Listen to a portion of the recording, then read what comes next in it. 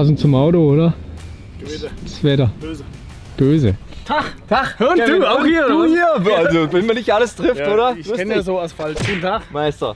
So, Ladies and Gentlemen, herzlich willkommen in den Heiligen Hallen, hätte ich fast gesagt. Oh, ja. Sind wir aber gar nicht. Wir sind am Bilster Berg heute und wir haben die große Ehre, dank dem Kevin, den neuen M3 Touring heute Probe zu fahren auf der Rennstrecke. Das wiederum seht ihr aber in einem anderen Video. Heute geht es nur um das Fahrzeug an sich.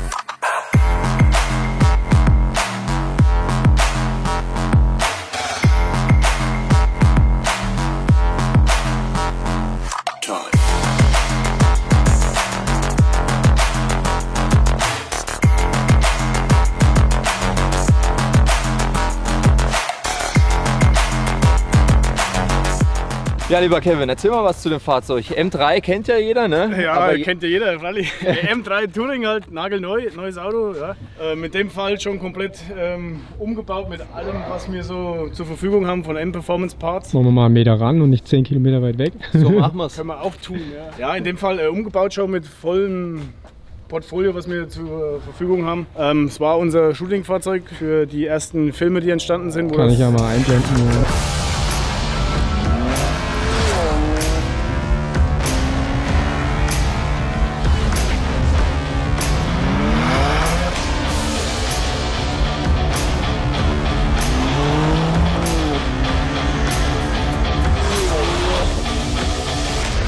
Nicht kann eine Vespa rum.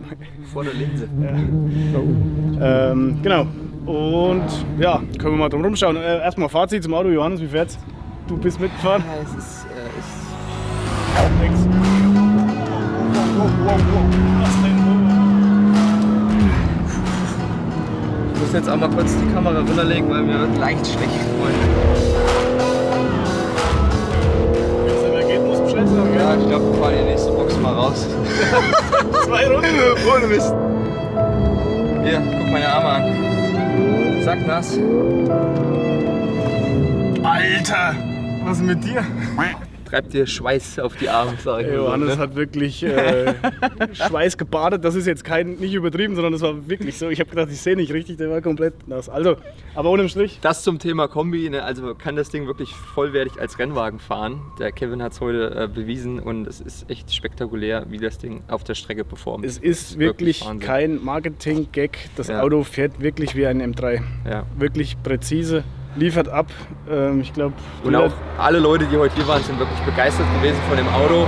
Sind heute Morgen hier angereist am Bilster Berg, da haben sie schon am Empfang gesagt, äh, da ist ja das Auto, auf das alle warten, weil das halt wirklich äh, brandneu ist, das Teil und äh, wirklich eine Seltenheit, gerade halt auch in der wunderschön Kombination M3 und äh, Kombi. Ja. ja, ich glaube, da muss man auch noch mal einen riesen Dank äh, nach Garching richten an die Kollegen, dass sie es wirklich umgesetzt haben, so ein Fahrzeug auf die Beine zu stellen. Ähm, es hat nie mehr Sinn gemacht als jetzt. Ja. Das ganze Package ist klasse. Das Auto fährt wirklich wunderbar und schaut auch noch gut aus. Und was will man mehr? Allrad, abschaltbar auf Heckantrieb. Wir haben 510 PS und voll reisetauglich. Also ich gut geschlafen heute Morgen auf dem Weg hierher. Gut, ja stimmt, ja, du hast. Du hast also es geschlafen. funktioniert sogar auch, ja, dass man hinten drin schläft. Ja. Ja, das bei, ne? Ich habe nicht gut geschlafen, ich hatte die Augen auf. Ja, aber nichtsdestotrotz, ein M3 Touring ist ja alles wunderbar und geil, aber wir sind halt dafür da, um das noch ein bisschen anzuschärfen. Man kann ja überall noch ein bisschen nachlegen, wenn man denn möchte. Und dann können wir mal uns anschauen, was wir da alles so getrieben haben, oder? Ja. Fangen wir vorne an, hören wir hinten an. An. Fangen wir mal bei den Sachen an, die wir schon kennen oder vielleicht einige Leute schon kennen. Also die Front ist ja komplett Übernahme vom G80 M3, also der normale M3 Limousine. Das heißt, alles, was wir jetzt, äh, zum Beispiel diese Flaps, die dran haben aus Carbon, das gibt es bereits schon. Und auch dieser Frontaufsatz, der dreiteilige in Carbon, den gibt es so schon für den G80 M3. Das haben wir übernommen für den G81. Was neu dazugekommen ist in der Front, Abschleppschlaufe. Voll einsetzbar, also so vollständiger Ersatz für die Abschleppöse. Ist auch geprüft worden mit Anzugskräften, allen möglichen. Genau, das kommt demnächst. Braucht man auch keine Angst haben, ist homologiert, also kann man so im Straßenverkehr bewegen. Finde ich äh, gerade für hier, für solche Geschichten, wunderbare Sache. Ist tüffig. Ja, brauchst du nicht tüffen, weil ist schon Ist alles, safe. alles, alles safe. Ja. Genau. Vielleicht fällt von der Seite schon ein bisschen auf, wenn man da mal schaut, das Auto liegt ein bisschen tiefer. Es ist ein M-Performance-Fahrwerk verbaut, äh, höhenverstellbar, ähm, bis 25 mm Tiefe. Und Seriendämpfer bleiben erhalten, ist aber auch, äh, hat auch einen guten Grund und zwar die Dämpferabstimmung in Serie, die ist wirklich gut. Man hat eine große Spreizung von Komfort, macht aber auch sportlich und das halt einfach nur eine Etage tiefer und wir sind der Meinung, das funktioniert wirklich klasse. Genau. Auch bekannte Sache sind die Zielelemente, genau. Ähm, wir haben die Seitenschweller in Vollcarbon. Das längste Carbonbauteil, was ich gehört habe, was wir je hergestellt haben. Aufkleber, kleines Detail, aber gehört zum Programm. Man nicht alles kriegt, oder? Bitte? Ist das bei den Schwellern dabei? Nein, Nicht. darfst du dir extra kaufen. Was ist das? Ähm, eine Sache, die noch nicht so viele kennen, ähm, Dachantenne aus Aramid, nicht Carbon, also muss man aufpassen. Das schaut zwar identisch aus wie Carbon, ist aber Aramid. Hat den Hintergrund, dass einfach, du hast da eine Antenne drunter sitzen und die braucht natürlich Empfang. Und wenn da Carbon drauf wäre, würde die das äh, elektrisch oder elektro, elektrostatisch abschirmen. Genau. Macht es mit Aramid eben nicht. Das heißt, es Aramid? funktioniert genau wie, wie es soll. Und Doch, ist halt. Aramid kein Carbon, schaut aber so aus. Habe ich ja noch nie gehört, du. Ja. Heckspoiler auch anders da. Der Touring hat eine aufgesetzte Lippe. Bei dem Heckspoiler, der auch M-Performance Parts äh, ist, der ist integriert quasi diese, diese Lippe. Gibt es auch für einen G21, also für den normalen Dreier Touring in Hochglanz schwarz. Dann gibt es noch Seitenaufsätze, Heckfinnen genannt, genau, auch neu. Erstmalig vom G81, kommen dann auch für den G21. Und dann das Gröbste. Und dann das Gröbste ist Geschmackssache, ja. Kann man sich drüber streiten. Also Aber- ich finde, es ist umstritten, muss ich ganz ehrlich sagen. Ich war selber skeptisch, wo ich das erste Mal so ein Konzeptauto gesehen habe, was wahrscheinlich sogar das war. Wusste ich nicht so richtig, was ich mit anfangen soll, aber desto mehr wir jetzt hier drauf eingegangen sind auf die, Auspuffanlagen, muss ich sagen, desto mehr gefällt es mir irgendwie. Also man muss sich erst dran gewöhnen. Guter Punkt. Also ich bin auch der Meinung, viele werden es bestätigen, wo der M3, M4 rauskam, das Aufschrei war riesig. Keiner hat das Auto gemocht, jeder hat gesagt, boah, wie kann man das nur, wie kann man das nur? Und jetzt ist es, eigentlich fast jeder findet es geil. Auch Ja. die, die früher gemeckert haben. Und ich sehe das hinten ein bisschen ähnlich. Es ist halt was komplett Neues. Und ich bin der Meinung, es dauert halt ein bisschen Zeit, bis man sich dran gewöhnt, weil BMW M war klassisch immer Vierer Abgasanlage links, rechts. Sieht auch nicht schlecht aus. Da gibt es übrigens auch für die Serienabgasanlage ähm, Titan Endroblenden. Schauen auch mega Bombe aus. Aber für die Leute, die halt ein bisschen auffallen wollen und was anderes haben wollen, why not? Ich find's geil. Ja, Auch von M-Performance Parts. ja genau. Also alles, was ich jetzt so zeige, das sind alles so Teile, die von uns ja. stammen, genau. Das könnte auch bekannt sein, haben bestimmt schon einige mal gesehen. Ähm, die Winglets gibt es beim M3, M4 schon. Genau, für den G81. Ich glaube, das Gesamtpaket außen, achso, was wir noch vergessen haben, der Radsatz, ja, gibt es aber auch schon längere Zeit, ist der 1000 M Radsatz. Vorne 20 Zoll, hinten 21 Zoll. Ich denke mal, für so ein recht serienmäßiges Auto und das, was vom Werk kommt mit Werkstuning, in Anführungsstrichen, ist das schon amtlich. Also das Ja. ist schon echt nicht ohne. Auch in Verbindung mit der Tieferlegung, wir sind da alle der Meinung und jeder, der das Auto bisher gesehen hat, das ist einfach wirklich schön. Genau, so, jetzt bin ich am überlegen, ob ich außen noch was vergessen habe, aber ich denke, ich sollte alles haben. Spiegel, Außenspiegel. Es gehört zum serienmäßigen Carbon-Paket. ja. Dazu zählt zum Beispiel der Außenspiegel in Carbon und vorne der Lufteinlass. Gibt es in zwei verschiedenen Varianten. Also wenn ihr das nicht habt, das Carbon-Paket ist hier so ein Gitter drauf. Ja. Carbon-Paket äh, mit dem Carbon-Einlass, genau. Dann würde ich sagen, schauen wir mal rein, oder? In die gute Stube. Jo. Jo, machen wir's, oder? Ja. Setzt die Brille auf, Freunde. Ich warne euch schon mal vor. Könnt ein bisschen beißen jetzt gleich. Ja, das, ja, stimmt. Also, wie ich anfangs schon erwähnt habe, es ist ein Shooting-Fahrzeug von uns. Ähm, muss man dazu sagen, das Auto ist foliert. Ne? Also nicht erschrecken, falls irgendjemand was sieht. Das ist äh, Folie drauf. Ähm, imitiert eins zu eins die Farbe Riviera Blau. Das wird mit Farbkarten abgeglichen. ähm, wir kriegen den richtig Riviera Blau lackierten M3 Touring in ein paar Wochen. Also dauert noch ein bisschen. Nur als zu dem Zeitpunkt, wo wir den bestellt haben, gab es den in einer anderen Farbe und wir wollten den aber unbedingt so haben. Und deswegen ist er foliert. Genau. So, schauen wir mal rein, oder? Ja. Ja, warte mal. Das mal aus. Ja, es fängt bei Kleinigkeiten an im Innenraum. Das mit dem Display finde ich mega. Es war generell wahrscheinlich so, Mhm. aber es ist mega. Also wirklich Kleinigkeiten und da sprechen wir wirklich von Kleinigkeiten. Es fängt in der Tür schon an. Türpins. M-Performance Türpins. ja, du lachst, aber es sind wirklich Mitbringselgeschichten und so, so Produkte, die laufen halt wirklich gut. Geschenke für die Freundin. Wenn die Freundin BMW fährt, kannst du gleich mal Das macht sich Da gut in du Beetle auf jeden immer, Fall. Ja, Ja. da machst du immer ein gutes, gutes Ding. Ja. So, äh, Einstiegsleisten in Carbon.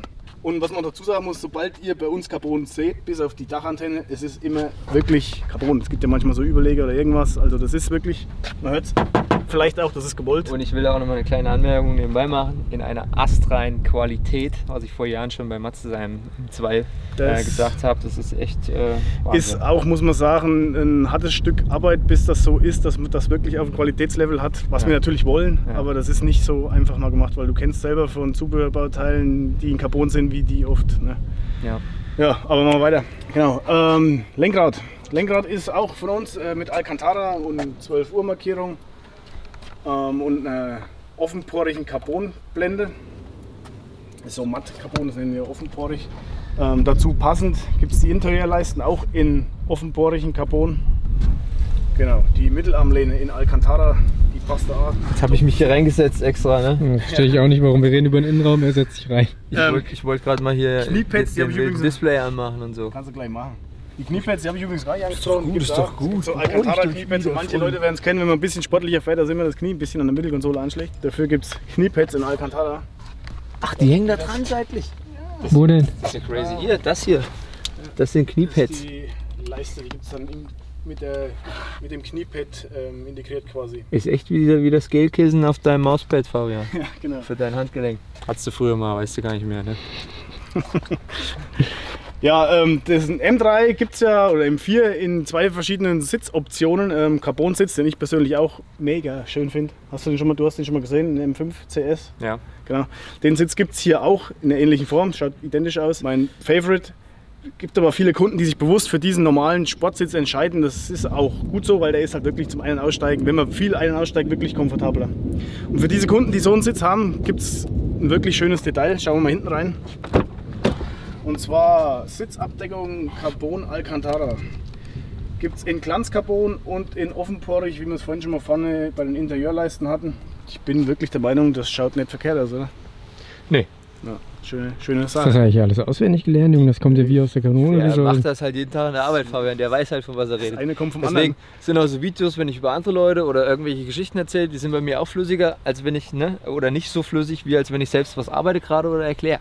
Ne, Hm. Freunde. Ja, ich finde es stimmig, Kevin. Schönes Gesamtpaket. Allerdings würde ich mich für eine andere Innenraumfarbe entscheiden, aber das ist Ja. ja, Geschmackssache. Ne? Ja. gibt wirklich Leute, die stehen auf sowas extrem. Ja, extrovertiert, auffallen. Ne? Mein, wollen wir ja auch. Ne? Das Auto soll ja auch jeder soll ja gesehen werden. Und dafür, ich meine, klar ist es für den ersten Blick erstmal so, uh, aber ich denke mal, für die Präsentationszwecke ist es nicht verkehrt. Ne? Fußmatten gibt es übrigens auch noch, die habe ich ganz vergessen. Die sind so ein bisschen dreckig jetzt von dem ganzen Tag äh, Racetrack fahren, aber das sind auch so ein, eins von den Details, was es so gibt bei uns. Ich überlege gerade, ob ich irgendwas vergessen habe, aber Nö. ich dachte, ich habe alles auf dem Schirm. Gurte sind mir doch aufgefallen. Ach so, ja. Gurte Gurte. auch original Ja, in dem so, M-Look ja. drin. Ja. Display wolltest du noch mal anschauen, oder? Das neue jetzt gekommen Ja. zum, also der G81 M3, der kriegt das serienmäßig von Start. Ähm, der M3 Limousine kriegt das ab jetzt, also alle, die jetzt gebaut werden, haben dieses Curved Display drin. Ja. Ich finde es gut gelungen. Machen wir auch das Ding. Du kannst es gern selber machen, bitteschön. Das ist jetzt die eine. Einmal Start. Hast du Schlüssel? Ah. Ah, ne, geht schon. Ja, schon groß, ne?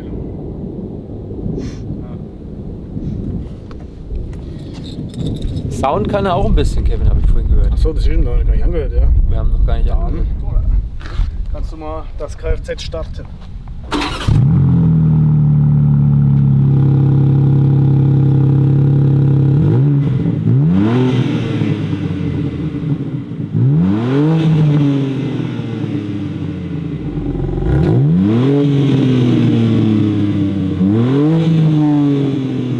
Wo wir ganz vergessen haben, darüber zu sprechen, wo wir uns über die äh, Optik unterhalten haben von der Abgasanlage. Also die Abgasanlage ist aus Titan, äh, spart auch ein paar Kilo ein. Auch die Enddraufblenden sind aus Titan und ja, hat eine etwas andere Klangcharakteristik, ist ein bisschen heller, was man so gewohnt auch ist vom ähm, Titan-Abgasanlagen. Ist natürlich in der Lautstärke nicht mehr so extrem, wie es früher mal war.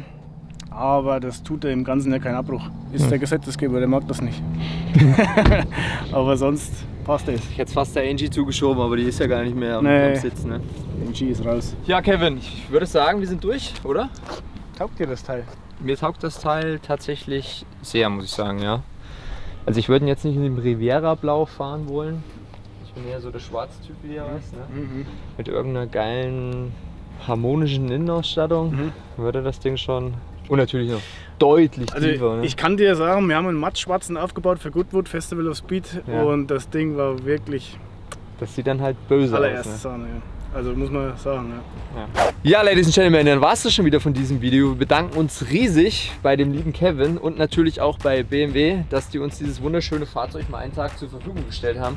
Und wie sich das ganze Teil hier bewegt auf der Rennstrecke, seht ihr in unserem nächsten Video. Deswegen unbedingt einschalten. Ja, wie immer hat uns es sehr gefreut, dass ihr wieder eingeschaltet habt. Wie immer nicht vergessen, das Glöckchen zu aktivieren, zu abonnieren und eurem Nachbarn Bescheid zu sagen, dass es hier was ganz Neues gibt bei YouTube bei Holly Hall. Ciao, bis zum nächsten Mal.